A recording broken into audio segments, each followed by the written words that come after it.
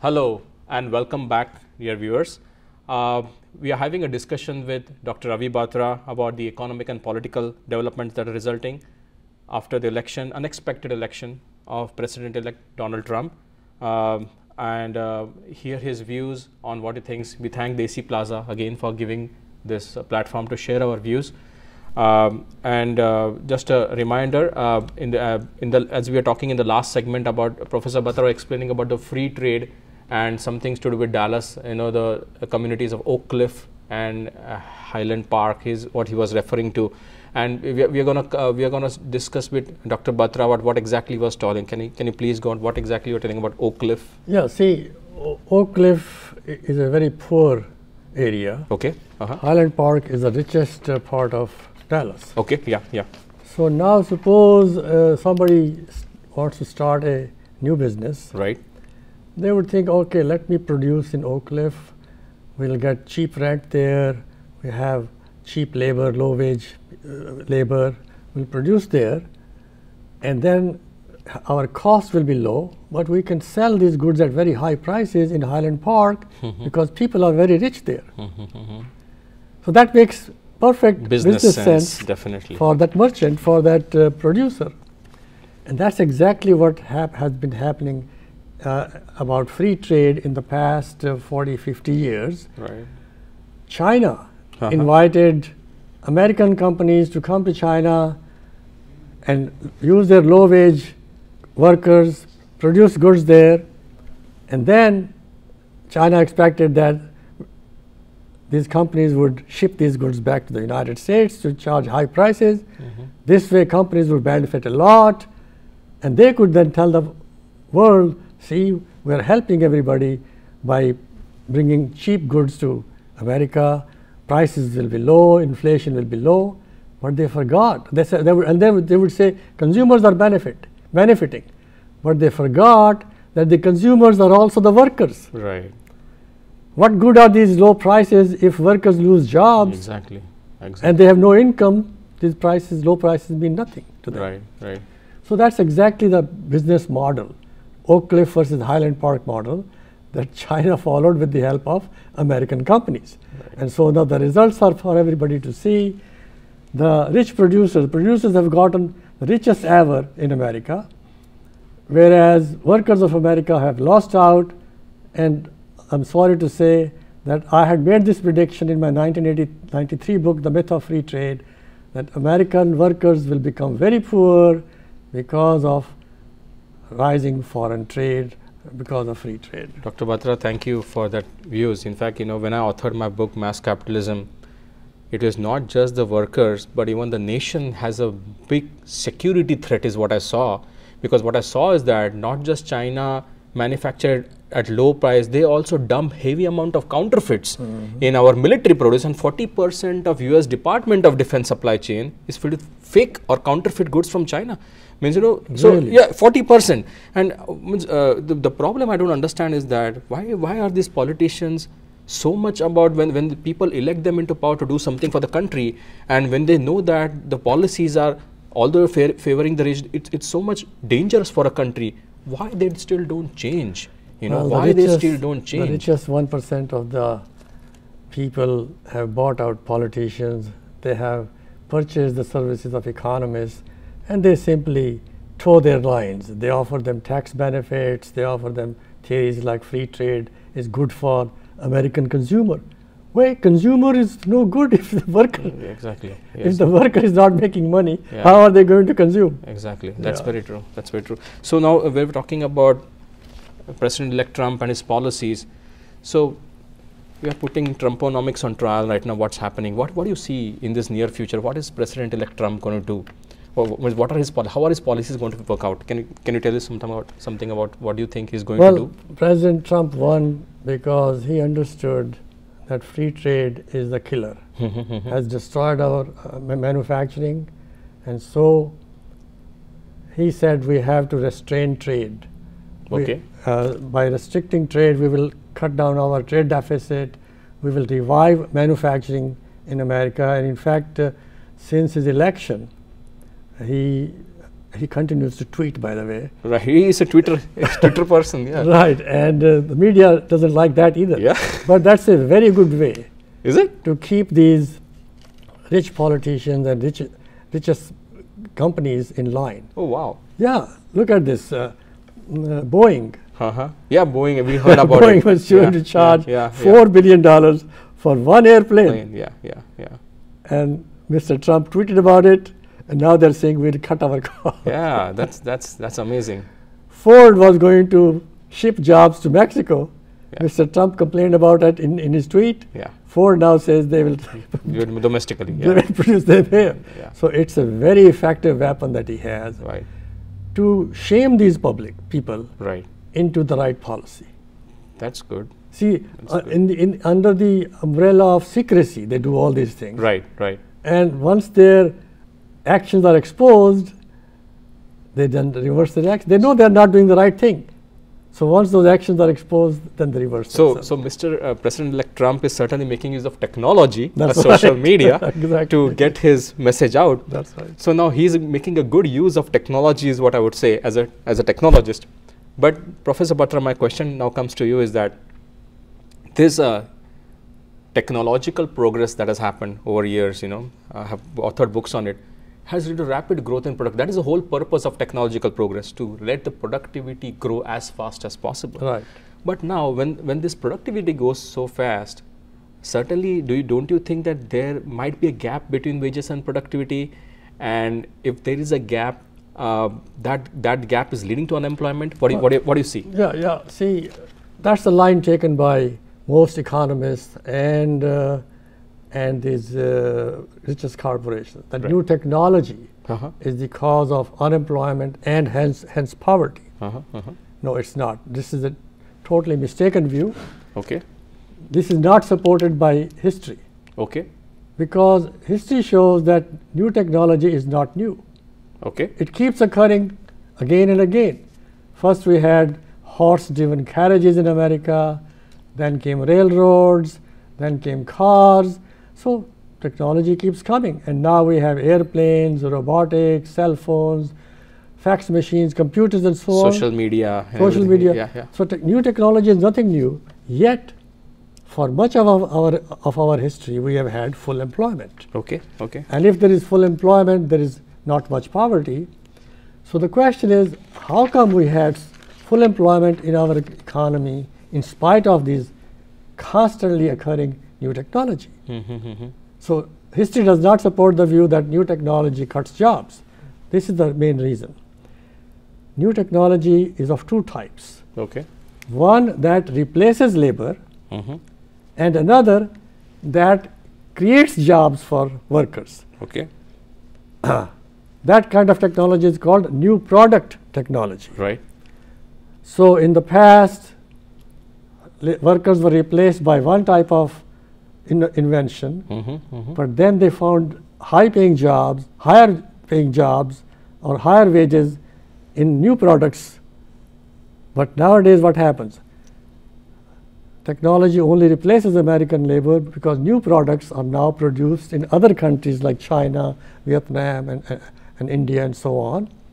So, new technology now only has a destructive effect on the American economy. Mhm, The positive effect is destroyed by outsourcing of what you call offshoring. Right.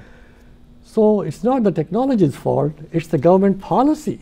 So, so what, what one question now comes over here that so election of President-elect Trump is certainly put a jeopardy, make in India to be in jeopardy because they wanted low cost for low cost manufa- manufacturing facility for the multinationals. So, President election of Trump is now a threat for the Make in India campaign. What do you see? Well, see, India is, is of course a source of, uh, uh, India of course gets a major share of outsourcing, but India does not export a lot of Goods, manufacturing yeah. manufactured goods to the United States. Right. They mostly come from China, Korea, Vietnam, Singapore, Other so- yeah, other I- countries. yeah, yeah, yeah. So India is not um, responsible, does not have that much responsibility in destroying American manufacturing. Right. Uh, although they have some share of that, it's mostly other Asian countries that are doing that, Okay. and that's why China That's why Mr. Trump singled out China. China, yeah, he has because we have huge trade deficits as well Exactly, with China. Yeah, yeah, yeah, yeah. yeah, right. Uh, okay, so Dr. Batra, now uh, coming uh, to my question to you, because since you have been predicting revolutions in his book, you know, the, the new golden age, where you told that there will be a revolution in 2009 and again in 2016. My question is that you consider President Barack Obama's election also to be revolutionary in the sense that, see, uh, what I have analyzed over the years that, that his economic policies have been disastrous, has been a failure. So why you call that election to, to, be a revolution? Can you, can you please tell our viewers why, why is that a revolution? Yeah, revolution. His his his uh, election was a revolution uh, because in, in the light of what has happened in past 5,000 years of recorded history. Okay. Uh-huh. He gave he gave great credibility to the idea that a black person can be elected uh, as as as the head of the richest and the most powerful military nation. Okay. The United States at one time was the richest nation. Right. And, and militarily, militar, militarily, it is still the most powerful. Definitely. This has never happened in 5,000 years of recorded history. Is it? Okay. I, I, I, and I, I know about that history because I have written about it.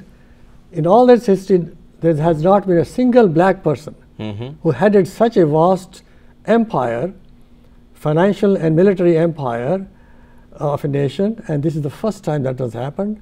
So, Mr. Ob- Obama's election was a tremendous revolution. So you mean to say that he broke the glass ceiling? He broke the glass ceiling that now tomorrow, it's in future also we can still have another black person come That's up. right. He, and that's- he broke the glass ceiling, Yeah. and an incredibly high glass ceiling. Right, It's right. the no black person has been elected in Europe, by the way, Oh yeah, yeah, that's true. That's true. Yeah, that's true. That's true. or an, uh, in other Asian countries. Yeah, yeah, yeah. In Africa, they are elected, but Yeah. then they are not so such uh, uh, empiric, uh, huge nation, vast nation. Right, right, right. So From that perspective, yeah, it to be so his election was a, a great event for not only the black people, for the entire humanity, because for the first time this thing happened. Makes sense, makes sense. So, Dr. Batra, then uh, 2016, I- I, I certainly believe that whether I love him or whether any one of our viewers love him or whether they hate him, President elect Trump's election is certainly a revolution. Oh yes, it's a revolution. now, now, all I want to know is that what do you foresee happening in the near future with Trumponomics that's happening? Wha- what is Trumponomics now? We are putting it on trial over here. that's right. So, what's, what's, what's, what we can expect now from it? Uh, well, Mr. Trump's uh, policies ha- have three components. Okay. One is the anti-free trade or anti-outsourcing component. That I think is in the interest of the U.S. economy. Okay. Uh-huh. But then he also wants to cut taxes for corporations and raise government spending on defense and infrastructure. Okay.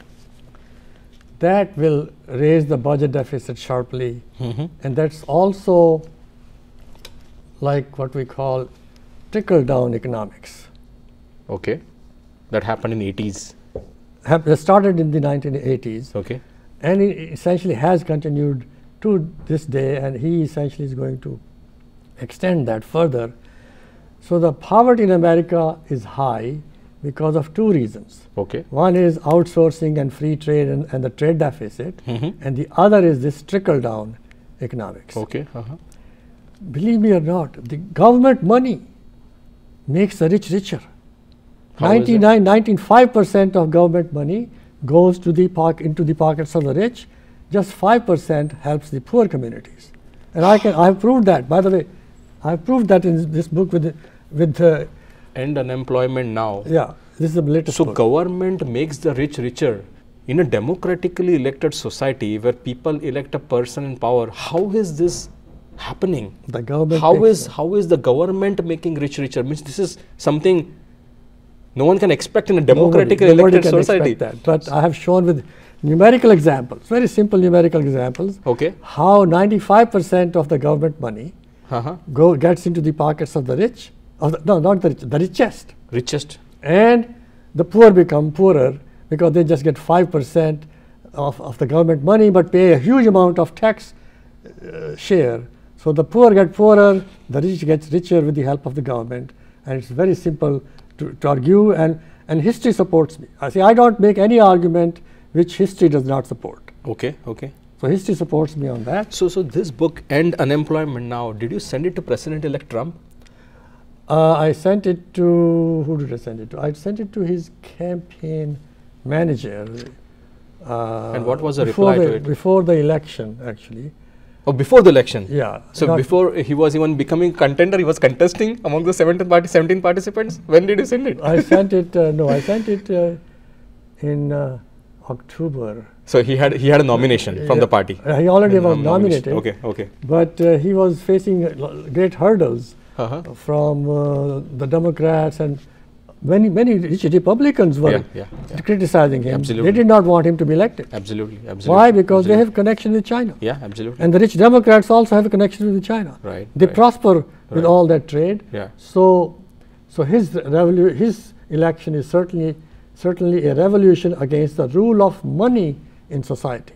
Okay. He In, in showed the elections, His in election. democratic elections. Right. Yeah, yeah. He showed that for the first time. He showed that if your ideas resonate with the public, you don't need money to get elected. okay. That's okay. a revolution. Mhm.